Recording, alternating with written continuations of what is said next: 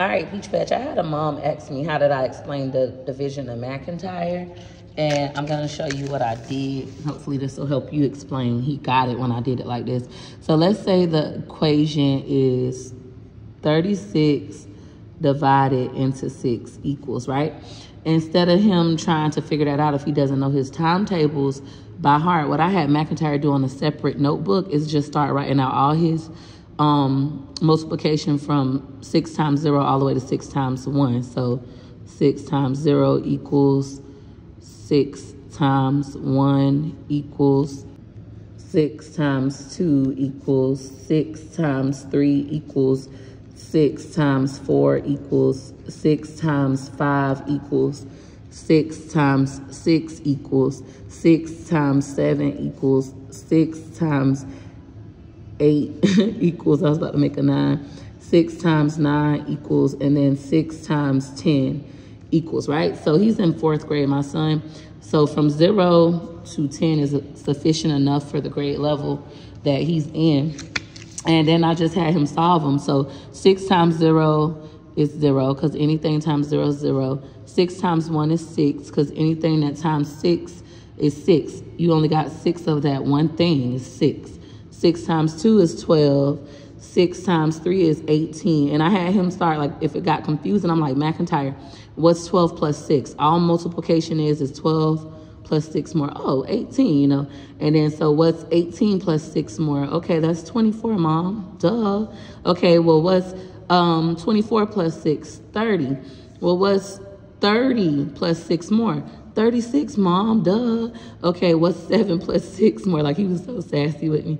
Seven plus six more. Oh, Lord, look, I gotta, I mean, 36 plus six more. I gotta do my math better. Four, I got two left over, 42. What's six times eight? All you're doing is adding six more. He's like, oh, mom, that's easy. That's gonna be 48. Okay, well, what's six times nine? I'm gonna do it two, four, 54. And then what's six times 10? AKA add six more to 54. And he's like, Mom, that's a baby question. Anything times 10 so easy, just add a zero is 60, right? So now he has all his answers from zero to six. He know his, I'm sorry, from zero to 10, he know his multiplication of sixes. It'll be easier to teach division if your kid understands multiplication. So I think for division, you just really got to make them memorize their times tables like we used to have to. But I had him write this out, right? And we did it for the nines and stuff like that that was coming up.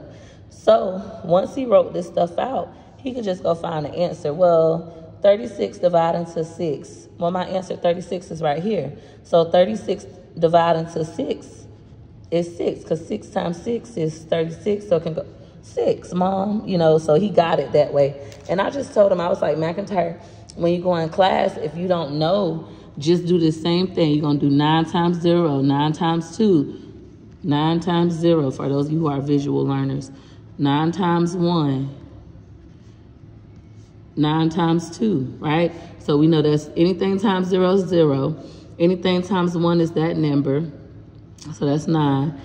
9 plus 9 is 18, okay? You know, and just have them go down. So once their brain can understand the concepts of what's going on with math, it just starts to click. So for him, he was just like twinkle in his eyes.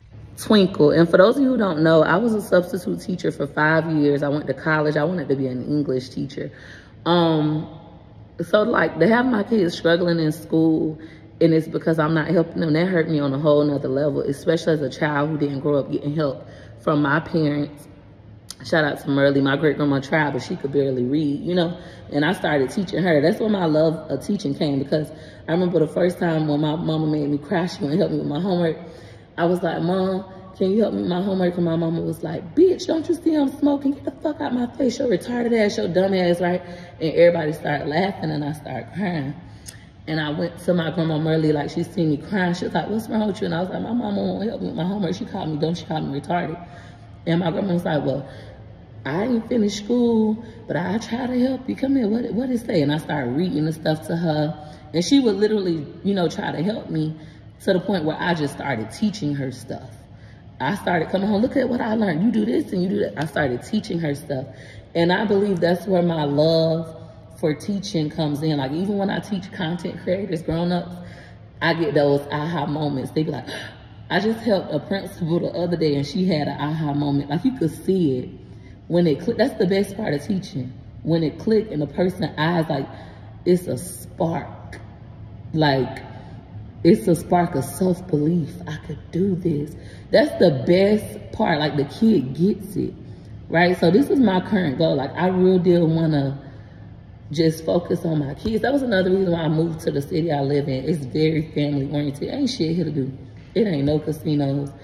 The only thing you could do here, I don't go to club anyways. The only thing you could do here is go out to eat, go shopping, and be with your kids. It's so family oriented. Everywhere you go, people got their kids with them.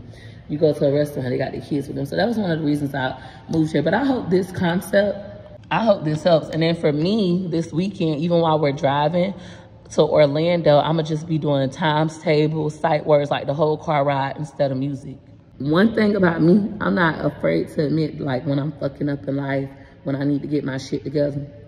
Once I make the decision, oh, it's on the popping. So, like, this is a decision. This is my focus. My children will do phenomenal this school year. We're going to have an excellent school year. I'm going to get my ass on a real tight schedule. I'm finna, like, finish writing down all the details, and I'm going to type it up. My mind is made up. For those of you who've been in Wake Up with Peach, y'all know what this looked like. But yeah, my mind is made up. I have decided we doing this.